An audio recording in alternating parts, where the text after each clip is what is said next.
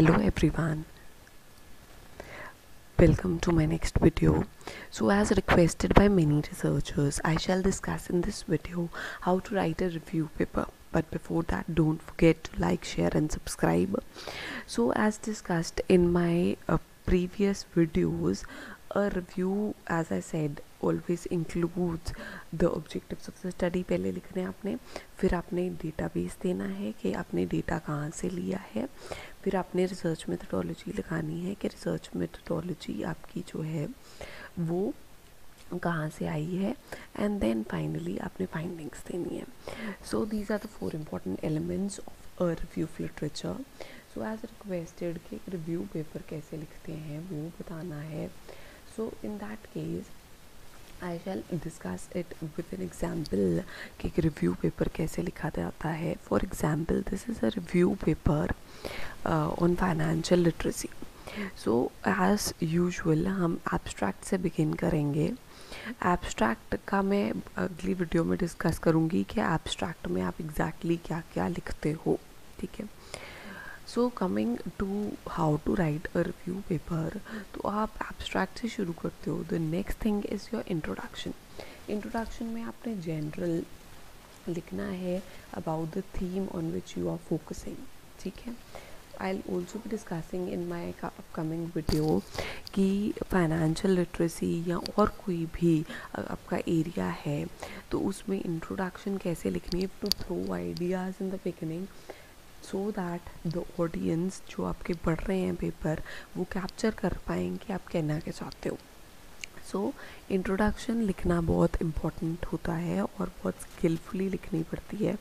So in that case आपको बताऊँगी कि इंट्रोडक्शन के पार्ट्स क्या होते हैं। फॉर एग्जांपल मेरा फाइनेंशियल लिटरेसी का पेपर था तो मैंने इंट्रोडक्शन में अबाउट फाइनेंशियल लिटरेसी उसका मीनिंग दिया और फाइनेंशियल लिटरेसी के ट्रेंड्स दिए इनिशिएटिव्स इन डिफरेंट कंट्रीज़ दिए।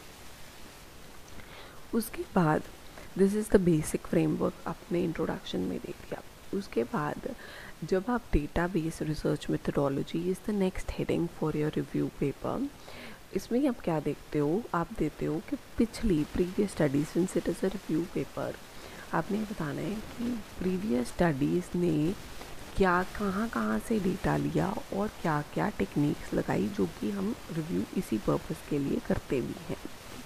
जब हम रिसर्च करते हैं तो हमारा पर्पज़ यही रहता है कि रिव्यू में देख लें कि प्रीवियस रिसर्चर्स ने क्या काम कर रखा है, उन्होंने क्या, कहाँ कहाँ से डेटा लिया है ताकि हम वहाँ से डेटा ना लेके कोई नया अपना डेटा एरिया लें। सैंपल नया होना चाहिए हमारा प्री टेस्टेड नहीं होना चाहिए। प्री टेस्टेड का मतलब यहाँ पे ये है कि पहले किसी ने उस पर स्टडी नहीं की होनी चाहिए, नया सैंपल होना चाहिए, तभी आपकी स्टडी नॉवल रिसर्च होगी, नई स्टडी होगी। अनदर थिंग इज़ कि आपने ये देखना है कि उन्होंने क्या टेक्निक्स लगाई in terms of database and research methodology तो आपने भी वही लगानी है। और आपने ये भी ढूंढना है कि क्या गैप था, उन्होंने क्या नहीं किया जो आप करना चाहते हो। तो एज इन मैंने यहाँ पे क्या किया है, मैंने ये बोला कि फाइनेंशियल लिटरेसी पे स्टडीज़ तो बहुत हुई हैं। पर किसी ने इन टोटलिटी ये नहीं फाइंड आउट करने की कोशिश की कि क्या प्रॉबेबल रीजंस हैं for low levels of financial literacy ये मुझे रिव्यू से पता चला, जो कि मेरा गैप था। तो गैप हम फाइंड करने की कोशिश करते हैं रिव्यू में कि क्या हो चुका है और क्या नहीं हुआ। तो मैंने ये लिखा कि सबने अपने अलग अलग रीजंस दिए हैं किसी ने टोटालिटी में रीजंस नहीं दिए for low levels of financial literacy तो फिर नेक्स्ट स्टेप पे मैं गई और मैंने उसको अपना ऑब्जेक्टिव बना लिया। पहला ऑब्जेक्टिव क्या रखा? For a review paper is to provide a review of financial literacy to the extent I can and दूसरा मैंने ऑब्जेक्टिव क्या रखा? दूसरा मैंने ऑब्जेक्टिव ये रखा कि reasons for low level of financial literacy as explored by various researchers मैं ये नहीं कह रही हूँ कि मैं एक्सप्लोर कर रही हूँ। मैं ये कह रही हूँ, जो प्रीवियस स्टडीज़ ने in totality low levels of financial literacy के रीजंस दिए। आप। इसके अलावा और कुछ भी रख सकते हैं। ऑब्जेक्टिव के एक रिव्यू दे रही हूँ और इसके बिसाइड्स मैं ये भी देखना चाहती हूँ कि फाइनेंशियल लिटरेसी लेवल कितना है और डिफरेंट डिफरेंट रीजन्स में कितना है या डिफरेंट कंट्रीज़ में कितना है। कंपैरिजन करके मैं ये फाइंड आउट करूँगी। फिर क्या लिखना होता है उसके बाद? उसके बाद आपने कहा कि मैंने रिव्यू किया।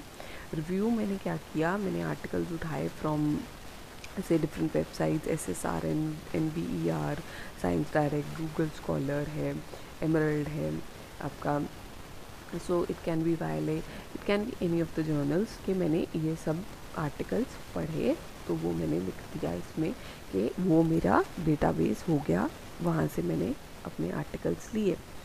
फिर मैंने जैसे आपको प्रीवियस अपने वीडियोस में बताया है कि रिव्यू लिखना कैसे है इन टैबुलर फॉर्म सो मैंने वही author country sample respondents methodology and findings लिया।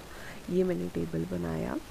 इससे क्या फ़ायदा हुआ? इससे ये फ़ायदा हुआ कि कहाँ कहाँ स्टडीज़ हुई, ज़्यादा स्टडीज़ कौन सी कंट्री में हुई है तो मुझे इससे पता चला कि इंडियन कॉन्टेक्स्ट में स्टडीज़ कम हुई हैं। दूसरा क्या फ़ायदा हुआ कि मेरे को पता लग गया कि लोग कितने करस्पॉन्डेंस लेते हैं। लोग मेथडोलॉजी क्या यूज़ करते हैं एंड उनकी फाइंडिंग्स इन टोटालिटी क्या रहती हैं, जो कि मेरा रिव्यू का पर्पस रहता है। कि मुझे पता लगे कि कितने सैंपल लिया, क्या डेटाबेस रहा, और क्या फाइंडिंग्स आए, और मैं अब कौन सा एरिया एक्सप्लोर कर सकती हूँ। और प्रॉबेबली मेरे फाइंडिंग्स क्या आने चाहिए। उसके बाद क्या है? फाइंडिंग्स एंड मैनेजरियल इम्प्लीकेशंस में मैंने क्या लिखा कि सैंपल रिस्पोंडेंट्स तो यहाँ पे क्या लिखा? मैंने पहला क्या चीज़ ली थी? मैंने ये ली थी कि मैंने डिफरेंट डिफरेंट सोर्सेज से डेटा लिया।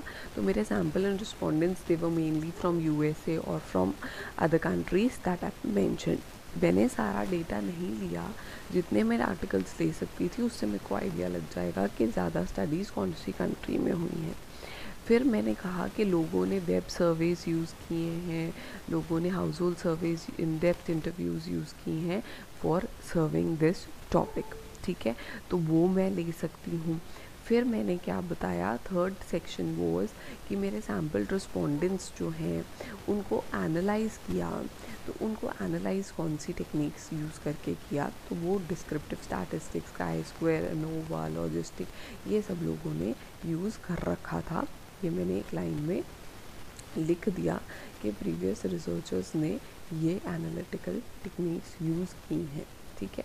इससे मेरे को ये फ़ायदा हो रहा है कि मेरे को पता भी चल जा रहा है साथ साथ में, ये देखो मैंने सारे लिख दिए कि कौन कौन सी टेक्निक्स यूज़ हुई हैं टू एनालाइज फाइनेंशियल लिटरेसी इससे मुझे फ़ायदा ये हुआ, मुझे पता लग गया कि टेक्निक्स क्या क्या लग सकती हैं मेरे डेटा पे।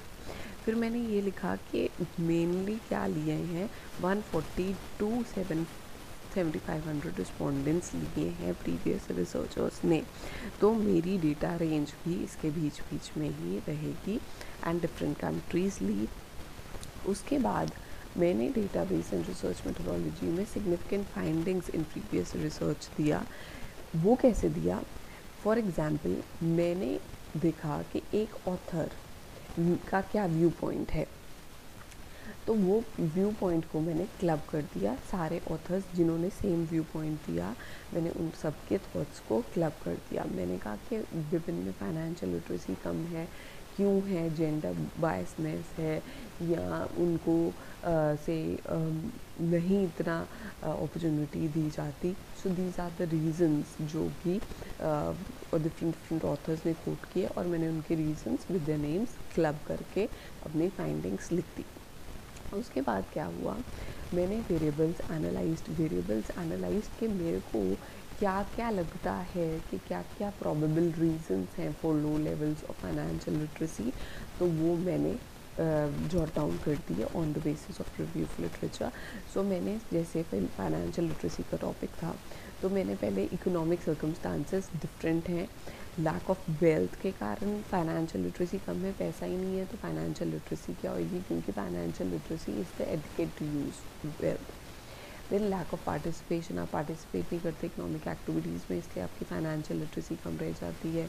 आपको इंटरेस्ट नहीं है बाय डिफ़ॉल्ट सोशल रीजंस क्या हैं? सोशल रीजंस ये हैं कि आपकी सोसाइटी नहीं अलाउ करती डेमोग्राफिक रीजंस हैं।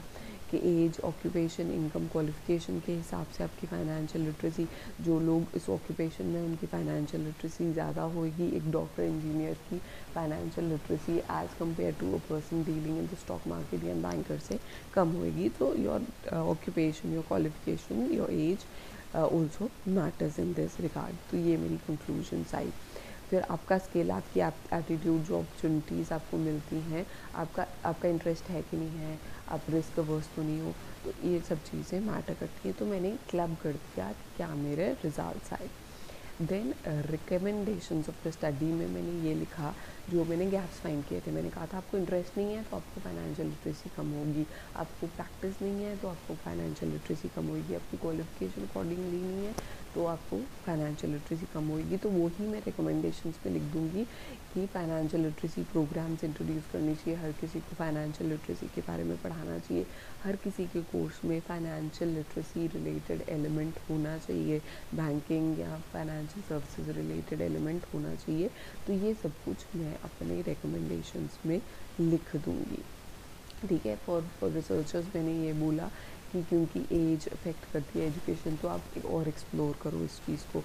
पब्लिक को मैंने ये बोला कि if you want to be financially literate you have to indulge in to activities of buying selling of dealing with activities related financial services bank जाओ डील करो।